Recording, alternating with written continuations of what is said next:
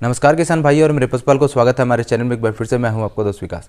दोस्तों, आज मैं आपको एक ऐसी परेशानी के बारे में बता रहा हूँ जो हमारे अक्सर जो गाय और भैंस में हो जाती है दोस्तों। जिसमें जो है दोस्तों, उसका जो बच्चादानी है, वो बाहर निकल आता है। इसके बहुत सारे कारण हैं दोस्तों। जैसे एक तो कारण है उसके शरीर में कैल्शियम की कमी हो जाना। दूसरा कारण है दोस्तों, अगर हम उसको ढलान वाली फर्श में रखते हैं, जैसे पीछे की ओर ज़्यादा ढलान है तो इसके कारण से भी जो है दोस्तों, जब बच्चा देने वाला होता है पशु तो उस समय जो है बच्चादानी बाहर निकलने लग जाता है। और एक कारण दोस्तों, जिसमें जो है उसकी उम्र ज़्यादा होना। ये तीनों कारणों के कारण से दोस्तों पशु का जो बच्चादानी है, वो बार बार बाहर निकलता है और इसमें जो है दोस्तों पशुओं को बहुत परेशानी होती है। तो आज मैं आपको एक ऐसा उपाय बता रहा हूँ दोस्तों, जिसे जो है आप बिल्कुल घर पर बना सकते हैं और इस बिल्कुल सामान्य से उपाय से दोस्तों आप इसको जो है कंट्रोल कर सकते हैं। तो चलिए दोस्तों, इस वीडियो को शुरू करते हैं और जानते हैं इस उपाय के बारे में। तो इस उपाय में दोस्तों, हमें जो है सबसे पहले तवे को अच्छी तरीके से आँच पर गर्म करना है।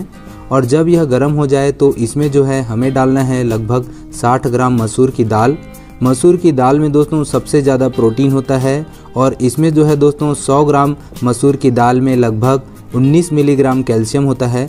इसलिए जो है आज इस उपाय में हम इसका इस्तेमाल कर रहे हैं। तो इसे जो है दोस्तों सीधे तवे पर डाल देना है और डालकर इसे हम जो है अच्छे तरीके से फैला देंगे। दोस्तों इस जो मसूर की दाल है इसे तवे पर गर्म कर करके जो है जलने के लिए रख देना है। आप देख सकते हैं, ये जलना स्टार्ट हो चुका है और इसे जो है थोड़ा सा मिलाएँगे दोस्तों ताकि जो है सभी जो मसूर की दालें हैं वो अच्छी तरीके से जल जाएँ। अगर अच्छी आँच पर है दोस्तों तो इसे जो है जलने में मात्र 10 मिनट लगेंगे। तो आप देख सकते हैं, ये पूरी तरीके से जल चुका है। तो चलिए, अब हम इसे उतार लेते हैं।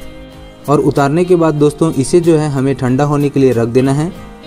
आप देख सकते हैं दोस्तों, इसमें जो हर दाने हैं, लगभग सभी दाने जो हैं अच्छे तरीके से जल चुके हैं। और उसके बाद दोस्तों ये जो मसूर की दाल है, इसे जो है हमें अच्छे तरीके से पीसना है। पीसने के लिए जो है दोस्तों, आप सिलबट्टे वगैरह का इस्तेमाल कर सकते हैं या तो मिक्सर ग्राइंडर में पीस सकते हैं। जितना हो सके उतना पीसना है दोस्तों, और उसके बाद दोस्तों इसे जो है अच्छे तरीके से छन्नी वगैरह से छान लेना है, ताकि इसका एक बारीक पाउडर हमें मिल सके। और उसके बाद दोस्तों हमें लेना है लगभग एक लीटर के आसपास जो है हमें दही लेना है दोस्तों। दही के लगभग 100 ग्राम में तिरासी मिलीग्राम जो है दोस्तों कैल्शियम होता है, इसलिए इसका इस्तेमाल हम यहाँ पर कर रहे हैं। और इसके बाद दोस्तों, इसमें हमें जो है, जो मसूर की दाल हमने पीसी थी, उसे जो है इसमें डाल देना है। और डालने के बाद इसे जो है अच्छे तरीके से मिलाएँगे दोस्तों। मिलाने के लिए आप जो है इस तरीके की मथनी का भी इस्तेमाल कर सकते हैं। अच्छे तरीके से मथना है दोस्तों, ताकि जो पाउडर है वो अच्छे तरीके से दही में मिल सके।